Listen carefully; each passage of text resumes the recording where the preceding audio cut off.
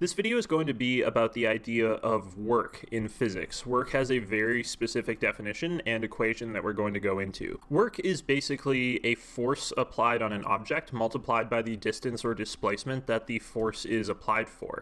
Um, the specific definition is that it's an object's displacement multiplied by the component of force parallel to the displacement. The variable for work is W and the unit is J, which stands for a joule. And the equation for work is work is equal to the force times the displacement s times the cosine of the angle between them. I'll explain why that equation looks the way it does using this picture. Let's say that you want to push this box along this displacement s, and to do that you apply this force in this upward and rightward direction here. We can imagine maybe this is a rope or something dragging the box along and there's a certain angle between the force and the displacement that you're moving the box. So the displacement and movement look something like this. So our definition says that work is equal to the component of the force that's parallel to the displacement multiplied by the displacement. And not all of that force is parallel to the displacement. So that force has two components, an x component and a y component that look like this. And you can see when I draw those out that only one of those components is parallel to the displacement, which is the force times the cosine. That's the x component in this case. So you can see that the force times the cosine of the angle is equal to the force component that's adjacent to the displacement, which, according to our definition, is the component that we need to calculate the work. So the work here is going to be equal to the component that's adjacent to the displacement times the displacement. So that's where we get the equation force times the displacement times the cosine of the angle between them. Some patterns show up here. You'll notice, for example, that if a force is perfectly parallel with the displacement, the angle between them is equal to zero, and cosine of zero is just one. So that means that the force times the displacement times the cosine is just equal to the force times the displacement, which makes sense because the whole force is parallel, so we don't really have to worry about angles or components at all. If the force is perfectly perpendicular to the displacement, we know that the cosine of 90 degrees is zero, so that actually means that the whole work equation is going to zero. So if you have a force applying at a perfectly perpendicular direction to the displacement of the object, that actually means that the force is not doing any work on the object, as we understand work in physics. Work can be positive or negative, but the rules for when it's positive and negative are different from when vectors are positive and negative. And in fact, work is a scalar. It has a magnitude, but it does not have a direction. I'm going to give you a reason why. Let's say that I define right as being positive and left as being negative. In this case, I have a force pointing to the right and a displacement pointing to the right, so I can see that the force is positive and the displacement is positive, so that means that the work is also positive. If I flip these around and I consider the rightward direction to be negative now, I now have a negative force because right is negative, and a negative displacement because right is negative, but when I multiply those two things together, I still get a positive work. So whether work is positive or negative has nothing to do with the specific direction that the force and displacement are pointing. Whether they're pointing positive or negative by themselves doesn't affect the sign of the work, so work does not depend on a particular direction. We can see that work is always positive if the parallel component of the force points in the same direction as the displacement. So what work actually depends on and whether work is considered to be positive or negative is whether the force and displacement point in the same direction as each other or in the opposite direction as each other. So as an example, if the force points in the negative direction and the displacement points in the positive direction, I can see that the work is going to be negative here. And if I switch these around, now the force points positive and the displacement points negative, but the work altogether is still negative. So what's determining whether the work is positive or negative is not the direction of just the force or just the displacement. It's how those two things relate to each other. So we can't say that work by itself has a direction in the real world, because it's based on other things that have directions, but it itself does not. So work is always negative if the parallel component of the force points in the opposite direction of the displacement. We can talk about the work done on the object by specific forces, or the total work done on the object. So we use language for both. There are two ways to find the total work done on an object. We can either add the work done by every force on the object if we add all the individual works of all the individual forces, we get an overall total work done on the object. Or we can just use the net force on the object as F in our work equation. If we just add up all the forces to find the net force, that's another way of finding the total work done. I'll give you an example of what I mean. Let's say that we want to find the work done by every individual force on this object and then find the total work done. So I'm just going to go through one at a time and look at the work done by each force as this box is moved 5 meters to the right. Starting with this 10 Newton force, I can see that because this is perfectly perpendicular to the displacement, you'll remember that that means that the total work done is zero, because the angle is 90 degrees and cosine of 90 degrees is zero.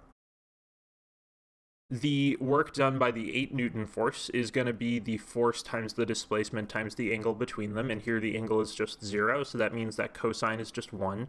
So the force times the displacement is 8 times 5, which is 40, and that's measured in joules, J. And again, this downward force here of 10 is perpendicular to the displacement, so that means that it's going to have a total work of 0.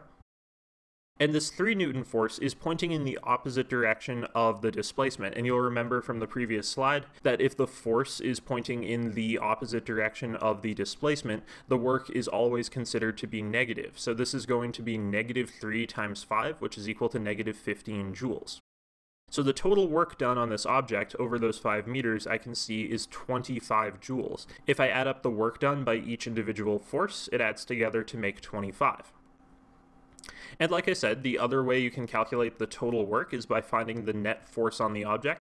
And I can see here that the net force, if I cancel out the 10 going up, the 10 going down, and the 3 takes away from the 8, I get a total net force of 5 going to the right. So here the net force is 5 and the displacement is 5. There's no angle between the net force and the displacement.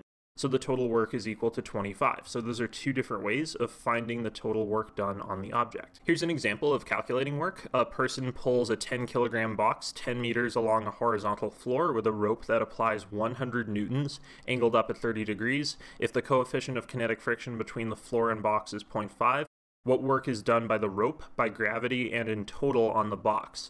It's always helpful to start these by drawing a free body diagram, so that's what I'm going to do. This says that there's a force going up and to the right of 100 newtons at an angle of 30 degrees. So if I break this into its x component and y component, this is what it looks like.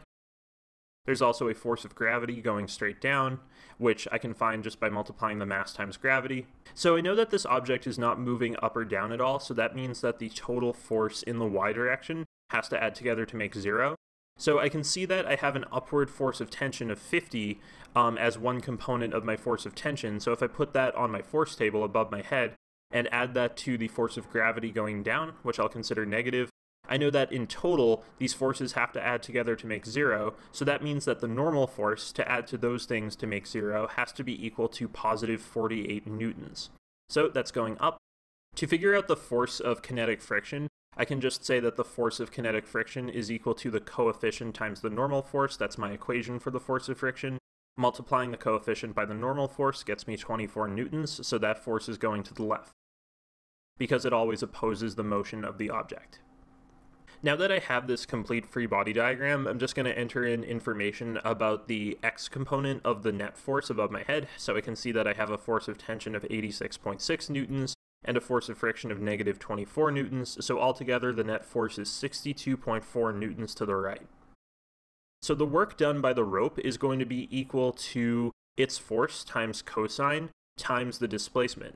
And I already know the force of tension times cosine of 30 degrees is just 86.6 newtons, and that's pointing in the same direction as the displacement, so I'm going to consider that to be positive work.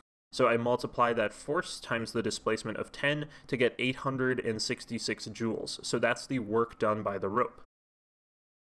I can see that gravity is pointing at a 90 degree angle to the displacement, so because it's at a 90 degree angle, the cosine of that is just zero, so the total work done by gravity is zero.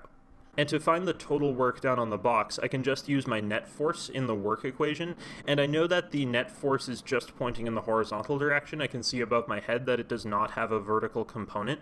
So because it's just pointing in the horizontal direction, in the same direction as the displacement, the angle between it and the displacement is zero. So that means that the cosine is one, so I just have to multiply the net force by the displacement, and when I do that, I get 624 joules of work done in total on the box. The reason why this is lower than the work done by the rope is that the force of friction is taking away, it's adding negative work to the box. So if I add the negative work from friction to the positive work from the rope, I get a total work done on the box of 624 joules. Here's another example. A person carries a 10 kilogram bag of groceries up a 6 meter high flight of stairs to their apartment. How much work did they do on the bag?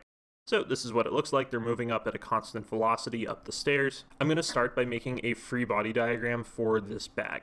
I know automatically that there's a force of gravity of 98 newtons going down, and if this bag is moving up the stairs at a constant velocity, that actually means that the forces only need to balance out. There doesn't need to be any kind of special force pointing diagonally up the stairs, because if it's moving at a constant velocity, we just know that the net force has to make zero. So if the person applies an upward force that's equal to the downward force of gravity applied on the bag, that will be enough to keep it moving at a constant velocity. So if the bag pulls down with 98 newtons, the person pulls up with 98 newtons.